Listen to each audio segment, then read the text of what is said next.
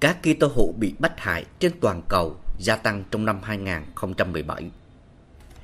Hiến tế của các Kitô hữu tự đạo chính là một bằng chứng về nền tảng cho niềm tin mạnh mẽ vào Thiên Chúa. Ở nhiều khu vực khác nhau, các Kitô hữu đang bị bắt hại vì đức tin của mình theo nhiều cách thức khác nhau. Sharon Marcy, 15 tuổi, sinh sống tại Puriwala, phía nam Punjab của Pakistan, đã bị tra tấn một cách hết sức tàn bạo bởi một số bạn học cùng lớp của mình và ép buộc em phải cải đạo sang Hồi giáo. Những trận đòn chí mạng đã khiến cô bé thiệt mạng vì đã nói không với đề nghị phải cải đạo bởi những người bạn cùng lớp. Các nhân viên trường học đã đưa em nhập viện, nhưng bác sĩ đã xác nhận vụ giết người mang rợ này. Sau đó, luật sư của Sharon đã gọi cái chết của em là một sự bắt hại kỳ tô giáo. Tương tự như vậy, Irfan Masi, một nhân viên vệ sinh đã bị sát hại tại Umekot trong khi đang làm công việc của mình. Anh ta đã được đưa đến bệnh viện nơi mà các bác sĩ đã từ chối chạm vào cơ thể nhơ nhút của anh ta trong suốt tháng Ramadan. Asia Bibi, một nạn nhân của luật bán bộ, đã phải trải qua 9 năm sống trong tù.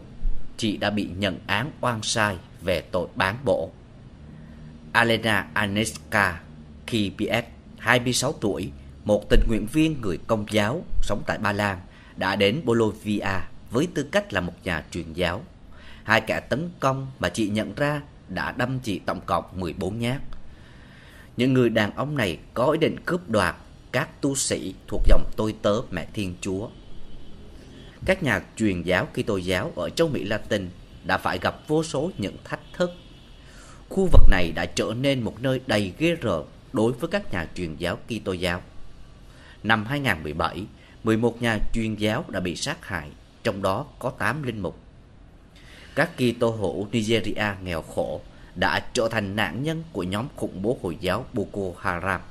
Bà giáo viên chuẩn bị cho chuyến viếng thăm mục vụ của các giáp mục đã bị giết hại bởi nhóm gồm nhiều phụ nữ đã tự kích nổ mìn của những kẻ khủng bố.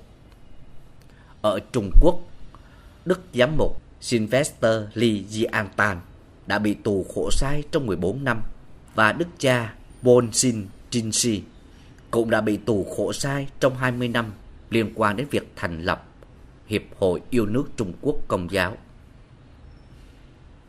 Đức giám mục John Liu Sinh đã bị đẩy thúc ép phải lao động trong thời cách mạng văn hóa.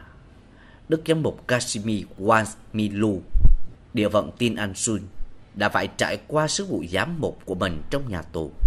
Tất cả họ đều đã chết, nhưng suốt cuộc đời của họ đã nỗ lực cống hiến cho Kitô giáo. Các vị giám mục được đề cập ở trên đã chết, nhưng họ là những anh hùng tự đạo đối với toàn thể cộng đồng Kitô hữu. Có rất nhà truyền giáo Trung Quốc đã bị tước đoạt việc thực hành tự do tôn giáo ở Trung Quốc. Tại Philippines, 8 công nhân xây dựng Kitô giáo đã bị nhóm Mote liên kết với IS bắt giữ. Những công nhân nghèo này đã từ Paraguay chuyển đến thành phố Iligon khi nhóm khủng bố sát hại họ vì không tin vào đức tin Hồi giáo. Trước đó, nhóm chiến binh này đã bắt cóc một linh mục công giáo người Philippines, cha Teresito Chito, cùng với 23 tín hữu công giáo khác và đã giam giữ họ trong khoảng 117 ngày. Tại Ấn Độ, giáo sĩ Sultan Masi, 47 tuổi, thuộc giáo hội ngụ tuần, thuộc nhà thờ Đền Thiên Chúa tại Luhiana, đã bị hai tay đua mô tô bắn chết. Con cái của vị giáo sĩ này cho biết rằng cha cô đã nhiều lần bị đe dọa trên Internet và các cuộc điện thoại buộc ông không được rao giảng đức tin Kitô giáo. Trong năm 2017, cộng đồng Kitô hữu đã phải đối mặt với các cuộc tấn công bạo lực bởi những kẻ cực đoan Hindu ở Ấn Độ. Nơi áp bức nặng nề nhất đối với cộng đồng Kitô hữu đó chính là Triều Tiên, nơi mà các vụ bức hại đối với các Kitô hữu là không thể đếm được. Tại Ai Cập, chín Kitô hữu đã bị giết hại bởi một nhóm chiến binh Jihadi tại một nhà thờ nằm ở Cairo.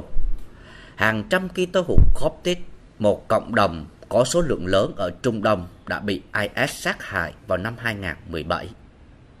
Tại Cameroon, nằm trên vịnh Guinea, là một quốc gia Trung Phi, nơi mà Đức Giám mục Jean Marie Benoit Bala đang sinh sống nằm ở thị trấn Bafia. Vào ngày 2 tháng 6 năm 2017, thi thể của Ngài được tìm thấy tại dòng sông Saraga sau khi bị một số thủ phạm không rõ danh tính tra tấn, sát hại và sau đó ném xác xuống dòng sông này. Từ vài thập kỷ qua, nhiều nhà truyền giáo công giáo đã được tìm thấy đã chết một cách đầy bí ẩn ở Cameroon mà sau này được coi là những vụ tự sát. Tại Mali Caragasso, một nhà truyền giáo Kitô giáo người Colombia, nữ tù Gloria Cecilia Navaez Agoti đã bị nhóm những kẻ khủng bố Al-Qaeda bắt cóc và hãm hiếp. Một đoạn video được lan truyền trên các phương tiện truyền thông xã hội vào tháng 7 năm 2017. Trong đó, nữ tu Gloria đã bị các chiến binh mê hoặc. Tuy nhiên, không có những thông tin cụ thể về nữ tu này. Cuối cùng tại Việt Nam, nhà cầm quyền Cộng sản tiếp tục bắt hại và khủng bố các tu sĩ linh mục công giáo. Tại Đa viện Thiên An, nhà cầm quyền tỉnh Thừa Thiên Huế cùng với nhóm côn đồ đã khủng bố đánh đập các đan sĩ dòng Thiên An khi các vị dựng tượng thánh giá trên đồi thông của mình. Tại giáo phận Vinh, nhà cầm quyền Hà Tĩnh và Nghệ An liên tục khủng bố và bắt hại những người công giáo sinh sống tại đây là nạn nhân của Formosa khi họ đi đòi quyền lợi chính đáng của mình, đặc biệt là linh mục Anton Đặng Hữu Nam và Gioan Bautista Nguyễn Đình Thục trong năm qua liên tục bị khủng bố đe dọa. Và một số linh mục dòng Chúa Cứu Thế đã bị nhà cầm quyền ngăn cản không cho xuất cảnh và một số khác bị ngăn chặn khi các vị linh mục đi dân lễ và đánh đập họ.